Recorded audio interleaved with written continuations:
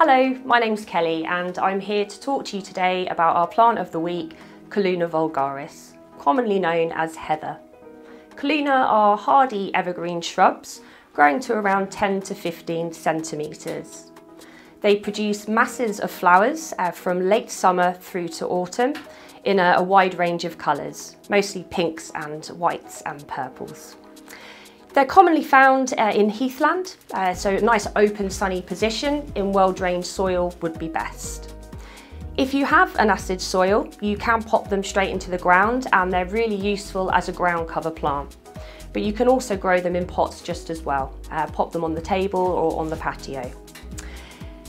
They are best pruned in the spring at the latest as they flower on current year's growth.